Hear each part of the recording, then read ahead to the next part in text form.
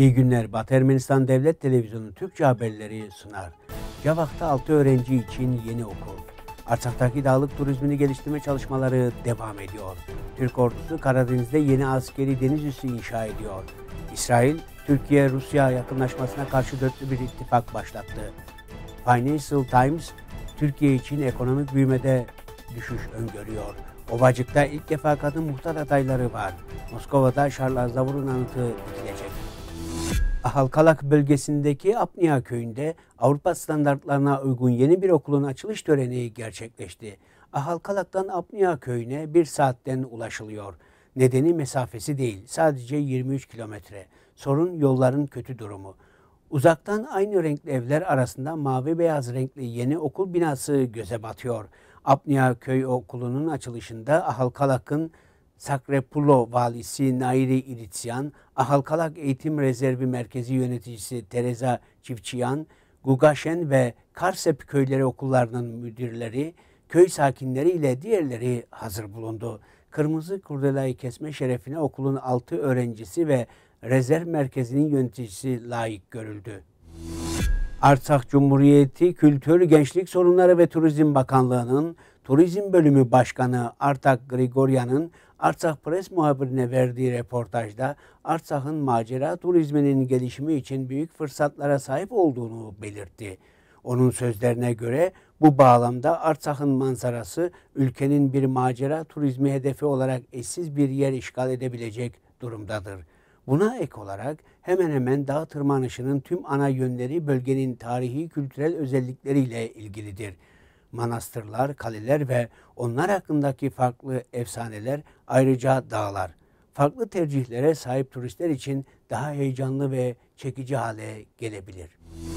Sputnik haber ajansına göre Türk ordusu Batı Ermenistan'da bir deniz üssü kurmaya başladı.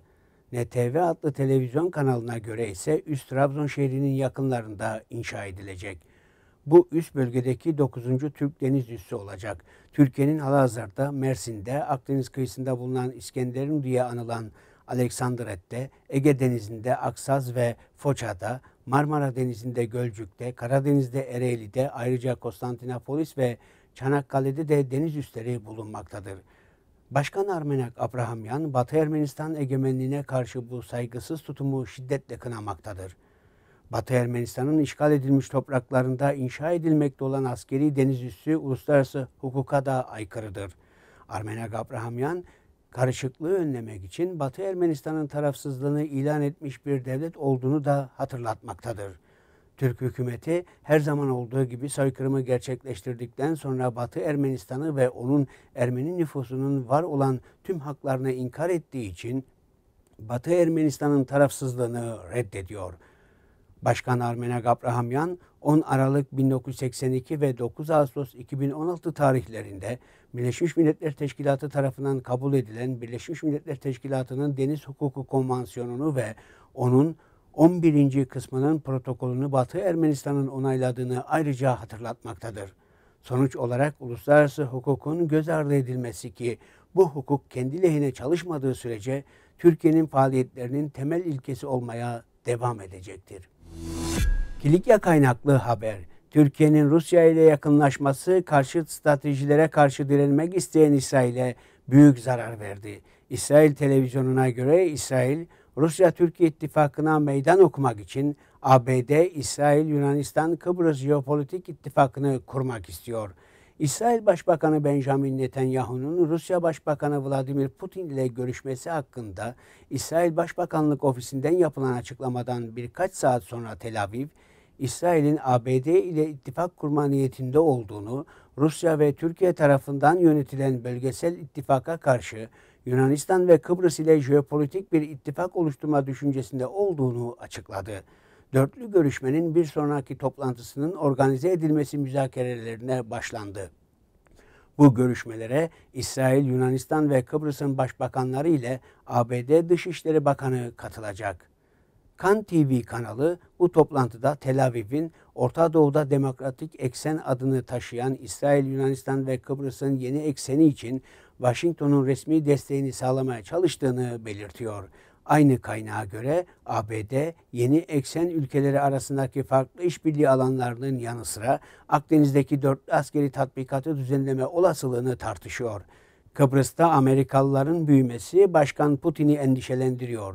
Kan TV, Rusya Federasyonu Dışişleri Bakanı'nın geçtiğimiz günlerde ABD'nin Kıbrıs konusuyla ilgili askeri tutumunun cevapsız kalmayacağı sözlerini uluslararası analistlere atıfta bulunarak yayınladı. İngiliz Financial Times gazetesi Türkiye'nin ekonomisi hakkında kötümser bir yazı yayınladı. Makale ayrıca Türkiye İstatistik Kurumu TÜİK tarafından yayınlanan ekonomik göstergelere de değindi. 2018 yılının 3. çeyreğinde ülkede sadece %1.6 oranında ekonomik büyüme kaydedilmiştir.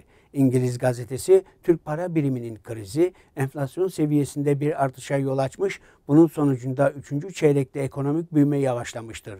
Sonuç olarak ülkede ekonomik durgunluğun başlayabileceği bir ihtimal var diye yazdı. Kaynağa göre bu ekonomik gerileme 15 Temmuz 2016 tarihindeki darbe girişiminden sonraki en büyük gerilemedir. Financial Times'a göre 2019'da Türkiye'nin ekonomik faaliyeti büyük ölçüde yavaşlayacak.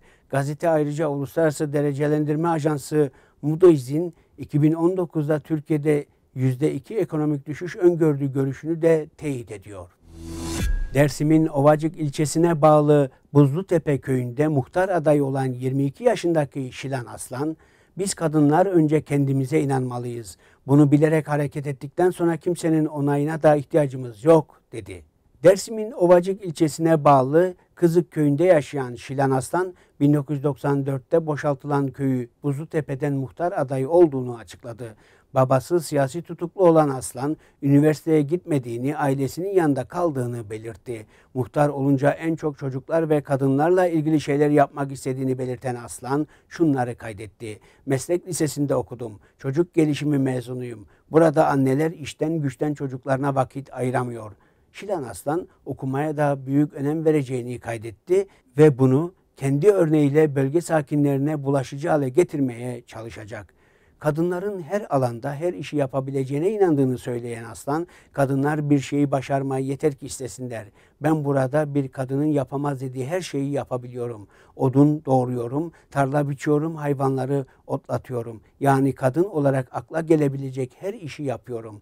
Biz kadınlar önce kendimize inanmalıyız. Bunu bilerek hareket ettikten sonra kimsenin onayına ihtiyacımız yok diye konuştu.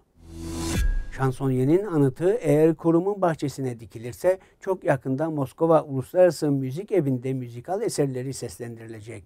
Şehir yöneticileri Aznavur'a adanmış anıtın en iyi nereye dikilmesi gerektiği yönünde anket yapmaya devam ediyor. Rusya Federasyonu'ndaki Cavah diasporasının başkanı Avasi Arapyan dergiye verdiği röportajda Moskova Şehir Duması'nın heykelin başkentin merkezinde dikilmesi fikrini onayladığını söyledi. Arapyan fakat anıtın görünüşünü belirlemek için önce uygun yer seçilmeli. Anıt brozdan yapılacak. Heykel Ermeni toplumunun kaynaklarıyla gerçekleştirilecek. Aznavur tüm çocukluğunu Rus cemaati içerisinde geçirmiş. Ailesi de Rusça konuşmuşlar ve kendisi de Moskova'yı ziyaret etmeyi çok seviyordu. Bu anıt Rus-Fransız, Rus-Ermeni ve genel olarak çok uluslu bir dostluk sembolüne dönüşecektir dedi. Bugün için bu kadarını öngördük. Şimdi size Sasun adlı halk müzik topluluğundan Çadaki Gazma Barat eserini sunuyoruz.